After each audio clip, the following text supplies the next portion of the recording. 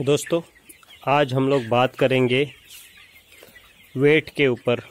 बहुत सारे सवाल आते हैं मुझे कि एक महीने में डीपी क्रॉस चिक्स कितना वेट लेता है, या दो महीने में कितना वेट लेता है दोस्तों, या फिर एक केजी वेट लेने के लिए उनको कितना समय लगता है।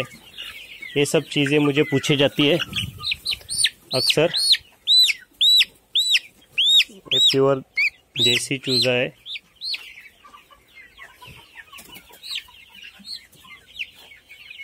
दोस्तों, मैं आप लोग को कुछ दिखा देता हूँ। ये जो है, देखो, कुछ चूजे ऐसे आ जाते हैं। ये प्योर देसी है, जो काफ़ी छोटा रह चुका है।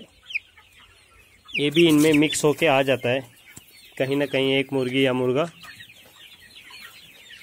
दोस्तों, अब, अभी अगर हम लोग बात करते हैं वेट के ऊपर तो आज मेरा पोल्ट्री फार्म को 50 दिन पूरा हो चुका है। 50 दिन पूरा हो चुका है और ये अपने जो चिक्स आए थे टोटल थाउज़ेंड चिक्स आए थे, जिसमें से मेरी मोटेलिटी हो चुकी है पचास की। पचास की मोटेलिटी हो चुकी है और मेरे 550 पंछी बिक चुके हैं तो ये सिर्फ़ 400 पंछी बाकी है।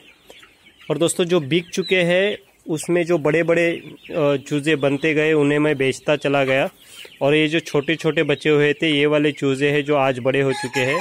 तो दोस्तों, सबसे पहले मैंने गलती ये की कि जो बड़े बड़े चूज़े होते, होने लग गए थे, उसे बेचना नहीं चाहिए था। वो जल्दी वेट गेन कर रहे थे तो मुझे उसे साइड में निकाल के उसे जल्दी बड़ा करने के लिए रखना चाहिए था।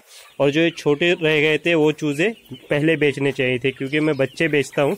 आपको पता है, एक मैं आधा किलो का जब वेट आ जाता है, तब मैं बेचना चालू कर देता हूँ। मेरे यहाँ पर उसी चीज़ को डिमांड ज़्यादा है। तो दोस्तों, आज मैं आपको ये और एक चीज़ बता दूँ कि वेट कितना आया है। इन पोल्ट्री का आज मैंने वेट किया दोस्तों तो एवरेज मैंने पाँच पंछी पकड़े हुए थे, छोटे बड़े करके तो उसमें मेरे को बराबर एक के जी सौ ग्राम का एवरेज मिला तो मतलब मैं बोल सकता हूँ कि पचास दिन में डीपी क्रॉस का चूज़ा एक के जी वेट ले लेता है, और उससे भी जल्दी ले लेता है दोस्तों, क्योंकि मेरा दूसरा जो बैच है, वो भी मैं आपको अगली वीडियो में दिखा दूँगा, उसमें काफ़ी अच्छा ग्रोथ है। उसमें से भी हम लोग कल पाँच चूजे पकड़ के वेट करेंगे। तभी मैं आपको बता दूँगा कि उनका वेट कितना आ रहा है, क्योंकि उनमें से मैंने अभी भी एक भी चूज़ा नहीं सेल किया हुआ है दोस्तों। तो सारे बड़े बड़े चूज़े हैं तो बड़े बड़े चूज़ों का वेट थोड़ा जल्दी आ जाए, ज़्यादा ज़्यादा आएगा, ऐसा मुझे तो लग रहा है। मैंने जो गलती की, वो गलती आप मत करना दोस्तों, जो अगर आप पहले बेच रहे हो तो जो छोटे रह गए हैं, उन्हें पहले बेचो, क्योंकि उनमें ग्रोथ नहीं होती है और उनमें बीमारी ज़्यादा आ जाती है। और जो बड़े अपने हो गए हैं उन्हें बड़ा होने दो, क्योंकि वो जल्दी वेट ले रहे हैं तो कंटिन्यू जल्दी लेके जल्दी जल्दी बड़े हो जाएँगे। तो दोस्तों, बड़े चूज़े को पहले बेचो पहले मत बेचो, उससे बाद में बेचो तो आपको अच्छा रहेगा। और पहले जो है, जो छोटे रह जाते, उन्हें बेच दो। दोस्तों, आज की वीडियो में इतना ही। मैं फिर एक बार आपको बता दूँ, अगर आपने मेरे चैनल को सब्सक्राइब नहीं किया है तो सब्सक्राइब कर लेना। अगर वीडियो पसंद आए तो लाइक ज़रूर कर देना दोस्तों।